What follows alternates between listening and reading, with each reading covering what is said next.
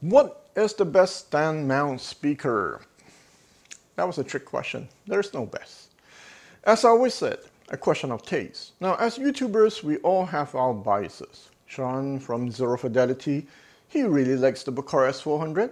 Jay really likes the CSS Criton 1T DX. And me, I really like the Apertura Swing. Now, out of all the speakers around 2 grand, it is one of my favorite. Now, today's video is not going to be long. I'm about to head out to the Toronto Audio Show tomorrow, and I wanted to make a quick video with minimum editing because the distributor Richard might show them there at the show. So if you're there, go to his room, check it out, and maybe harass him to demo it. So last year when I made a video on the best of 2021, the Apertura Swing made it to the list. Now a lot of you will hate me for making this video because even if you want to buy in North America, it is not easy. This is a speaker from France, not a big company, run by a small family. So why should you consider the Swing compared to the other gazillion speakers out there? Why not the Buchardt, the Dynaudio, the Magnepan, and blah blah blah. The other day, an audio buddy, whom I'll call Mr. Carver, I call him that because he owns a pair of Carver speakers, dropped by.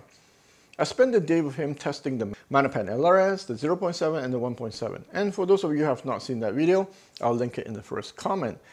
Now, just before testing those Magnepan, I had him listen to the Apertura. Needless to say, he thought the swing was pretty good. Now, here's the interesting part. After spending time with the Apertura swing, I switched to the Magnepan LRS. I was expecting to blow him away with the soundstage with the LRS, you know, Magnepan is known for its big soundstage. Guess what? I still remember the puzzled looking face of Mr. Carver. He said, why is the soundstage smaller than the swing? Now let that sink in for a while.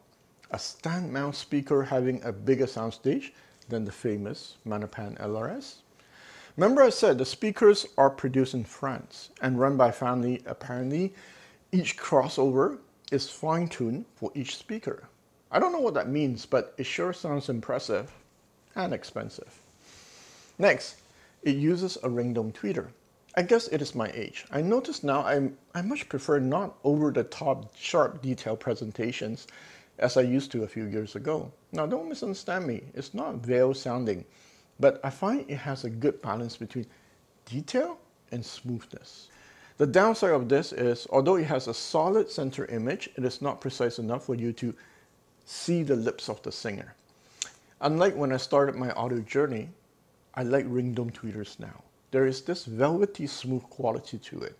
In fact, one of the speakers I'm planning to bring to market now uses a ring dome tweeter. I like the tone it produces and the Apertura swing has great tone.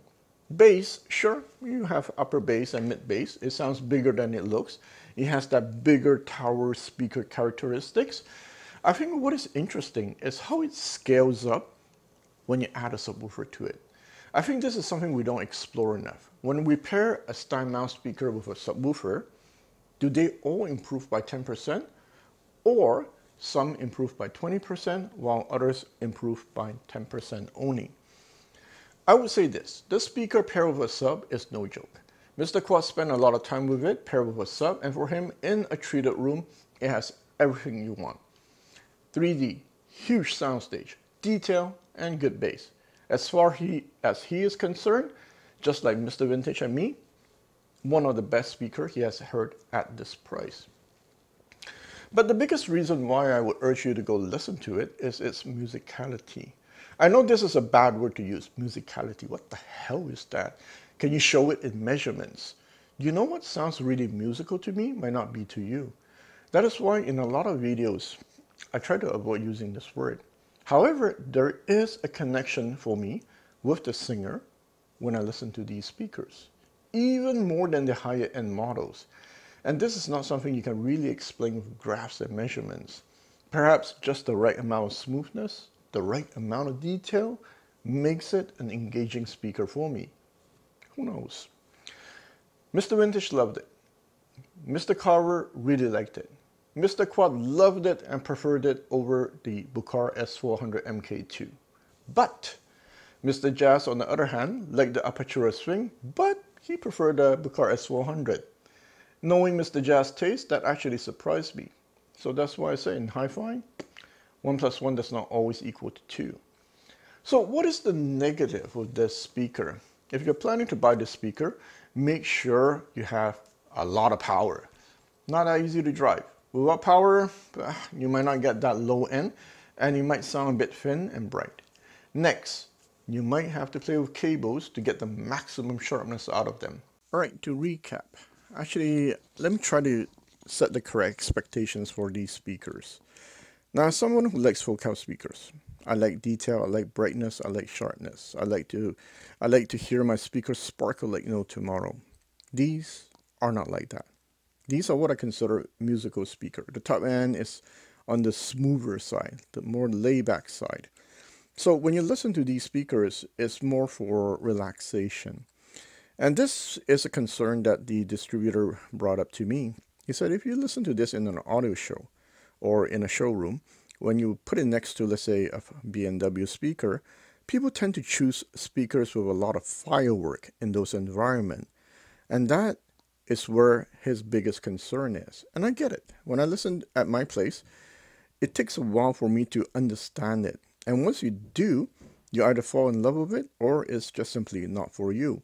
So these kind of speaker, if you're somebody who like B&W Focal, maybe it's not for you. So with that said, just keep your expectations in check. This is more of a smoother, layback sounding speaker. It's too bad you have a hard time ordering one. I'll put the info in the first comment, okay?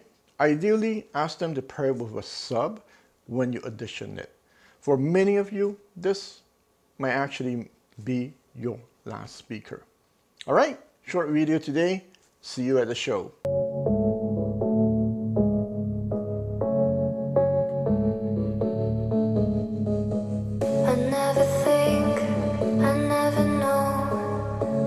Stop.